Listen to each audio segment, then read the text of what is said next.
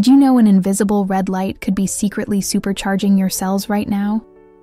It sounds like science fiction, but it's real, and it's called red light therapy.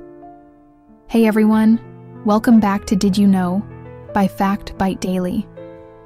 Today, we're shining a light on one of the coolest wellness trends out there. So, how does staring at a red light actually do anything? Let's dive into five fast facts that explain the magic.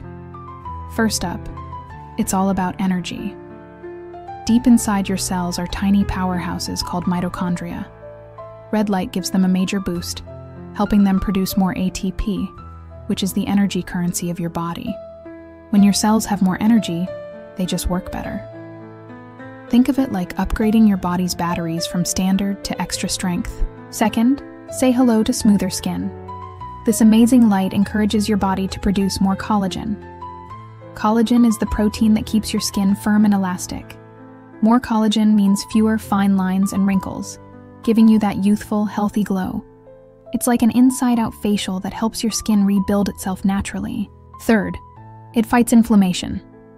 Got sore muscles after a workout, annoying acne, or just general aches and pains? Red light can help calm things down.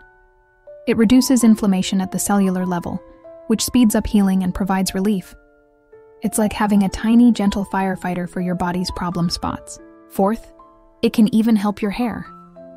Studies have shown that red light can stimulate hair follicles, waking them up from their resting phase and encouraging new growth. So, if you're worried about thinning hair, this could be a game changer. It's a non invasive way to support a fuller, healthier head of hair. And finally, fact number five it's incredibly safe. We're not talking about tanning beds here. Red light therapy uses very low levels of light, so it doesn't burn or damage your skin with harmful UV rays.